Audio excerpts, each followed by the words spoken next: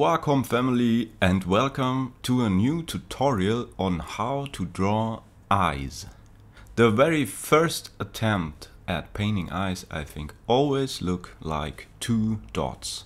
A few tries later the eyes maybe become two circles with dots in the middle. Now let's give the eyes some upper eyelids. That's the easiest way to add emotions to your faces, like angry or evil eyes, sad eyes, or maybe a bit bored ones. So as you see, it's pretty easy to draw eyes using this abstract comic style, but let's go a bit deeper into the topic and let's see what else we can do with eyes. As we know, the eye is a ping pong ball sized sphere sitting inside the head. So let's get started by drawing this sphere. By giving the sphere horizontal and vertical axes, we show that it is a three-dimensional object. When you draw in the two axes, make sure that they are ellipses that end at exactly half the height and half the width of the circle. Viewed from the front, the iris is about half the size of the whole eyeball. The size of the pupil varies from person to person and it also depends on the light situation and on the mood. In addition, the iris is not painted flat onto the eyeball, rather it is raised a bit like a contact lens would be. The farther the iris turned, the more prominent this iris bump becomes. The pupil is centered behind the iris lens instead of on top of it. That's why when an eye looks to the side, you'll move the pupil a little bit towards the center of the eye. Now the edges of our eyelids are shaped like two flattened U's. But let's look a bit more closely at the two U's. To find the line more easily, let's divide the upper eyelid into three sections. And for the lower eyelid, let's use two divisions. At the middle section of the eye, you'll see what I think is called the tear duct. This varies from face to face and sometimes it isn't even there at all. Now that we have pre-sketched the eye shape, we can either round off the corners of the subdivision lines a bit or try drawing the two eyelid lines into clean sweeps. This five-line concept offers a wealth of possible variations. Depending on the length ratio and angle of the lines, you can create very different types of eyes expressing a wide range of moods. Next, we should keep in mind that the two eyelids have a certain thickness too. Therefore, a narrow edge should be visible at the way around, almost parallel to our five lines from before. If you want to draw a crying eye at some point, you might be interested to know that the tears collect down right here. The eyes, including the eyelid, can be constructed from every conceivable perspective in this way. Start with a sphere and imagine the eyelids wrapping around the sphere. Use the five lines to work out your basic shape. You will need to adjust the length or the angles depending on perspective. In some perspectives you may only need two or three of the lines because the others are hidden behind the eyeball itself. For example, in profile, at which points does the narrow area of the eyelids become visible? Which of the lines do you want to emphasize? Which can be ignored? We will get into this in more detail as we position the eyes on the face.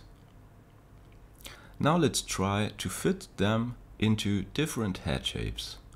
In order to define the eye area, I like to start with this small, almost triangle shaped area above the nose, ending up at your old guidelines. As you can see, the triangle shortens when the head is looking down and lengthens when looking up. In profile, the triangle seen from the side simply becomes a line. Next, and very simplified, we want to define the shape of the bones around the eye because they are very important. They protect our eyes from blows and soccer balls. The easiest way to define the bones around the eye is to use the, I call it, Batman mask. Our triangle serves as a starting point here. Just like our eyelid construction, the Batman mask consists of three lines at the top and two at the bottom. Each of the outer edges meets the cut out areas of our head shape. When you transfer the Batman mask onto the tilted heads, notice what happens to the angles and which line appear shortened. In profile, we can see only a part of the mask, of course. There is no general rule about how far apart the two eyeballs have to be. But if you're not sure, just think of a third sphere or a little more between the two eyeballs. This will give you a good distance. The eyeballs are obviously not glued onto the front of the face. Instead, they are located quite deep inside our head. Therefore, in placing our spheres into the Batman mask, we have to offset them a bit. How big the offset depends on the perspective. You can see this particularly clearly with the head tilted up. In profile, we see this very easily. From the front, the depth of the eyeballs isn't visible at first. Never underestimate the importance of what we learned earlier about the pupil and iris. Even a tiny bulge in the iris can enhance the realism of your eyes. From the front, of course, you don't need to embellish. But as soon as the eye is not looking straight at the viewer, remember to curve the iris and deepen the pupil. Now let's get to the eyelids. First, mark each of the two outer edges of your eyes level with the head shape guidelines. Then draw in the pentagon. If you have already constructed the spheres neatly, everything else almost draws itself. Here again, pay attention to the angles and length on the sides depending on how you're viewing the head shape. When the views are pushed to extremes, the pentagon might also form interior angles. In profile, the iris covers half of the pentagon. The second eyelid line is an important way to emphasize the perspective you decided to depict the face from.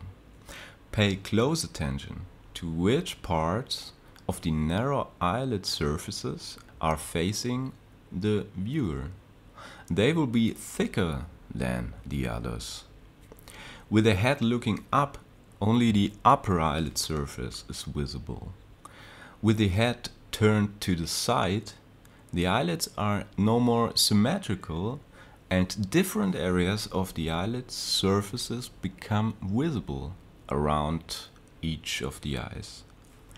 As you see, drawing eyes can tax your three-dimensional imagination pretty hard sometimes, but it's worth it. The two eyelid creases are the boundary between the eyelid and the face. For them you can use the sphere as a guide. It's also worth holding on the pentagon subdivisions from the eyelid design at this point. If you don't want your face to look old or tired, draw the lower eyelid crease a little softer and shorter than the upper one. You can even hint at it just slightly.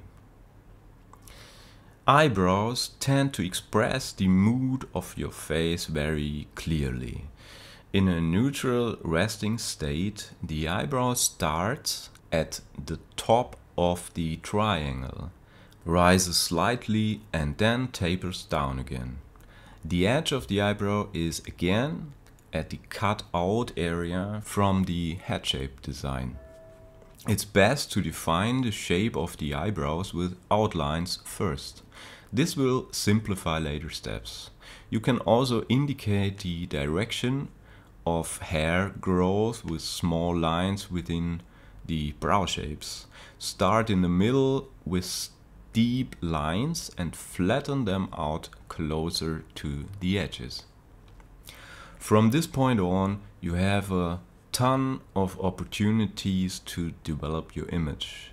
But since we are not talking about different styles or coloring in this tutorial, let's develop our eyes using entirely clean lines. As you can see here, the two upper eyelid lines can also be combined into a single thick line. This is especially true if you want to create a shadow here. For the lower eyelid, it's a good idea to use the outlines a bit more sparingly because usually shadows do not occur here when the light source is from above. For iris and pupil, I'm going to give you a simple but effective solution when using a graphic tablet. Reduce the opacity of your brush about 30% in order to paint the iris. Next, let's give the iris a little sparkle by reducing the brush size and hardness to lighten the center of the iris with white. Now you can fill the pupil in black. Now you can use white again to set a light reflection point. It doesn't always have to be a dot. You can experiment with different shapes. To add a final touch to the iris, show the shadow the upper lid casts on the iris. And if you like, you can also throw in a little more detail to the structure of the iris by drawing preferably on a separate layer, subtly alternating black and white lines from the pupil to the edge of the iris. But just a little tip, only make this effort if the eyes you are drawing are actually big enough to be able to notice this level of detail. Eyebrows can follow quite easily from these filled shapes using a graphic tablet again. First use the smudge tool to soften the edges of the shapes and deform them into that kind of a hairy zigzag shape. Be careful to always follow the hair direction with the smudging, but not to make the zigzag either too even or too messy. When you're satisfied with the result, lighten your zigzag a bit and finish off the brows with some hair. Draw the individual hair with uh, as quick strokes as possible. It's best to use slightly curved lines that taper off and change direction often while still paying attention to the direction of hair growth in the eyebrows.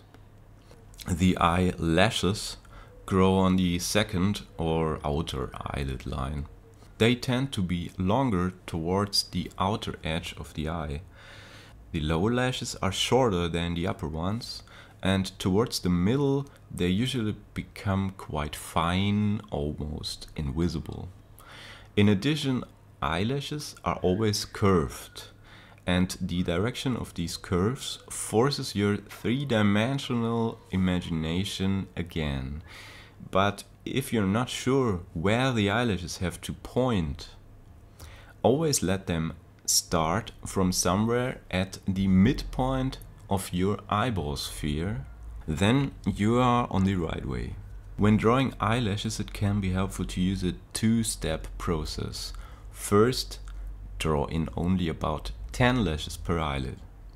Take special care that all of these eyelashes bend at the correct angle and pay attention to the length and allow them to taper just like the eyebrow hairs.